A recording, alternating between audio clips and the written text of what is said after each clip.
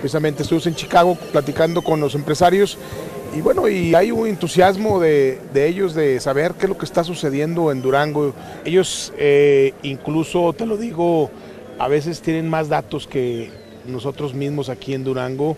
Hay una preocupación, pero ellos eh, también reconocen pues que eh, Durango persiste un, un clima de seguridad jurídica, laboral, para las empresas.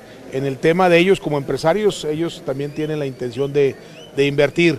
Posiblemente también en cuanto al tema de inseguridad, las familias pues han tenido que eh, tomar algunas decisiones de, no venir en algunos, en algunos casos de familias que te comentan que hacían su viaje cada año, han estado pensándola y realmente pues yo creo que sí ha ha impactado negativamente, eso no lo podemos negar.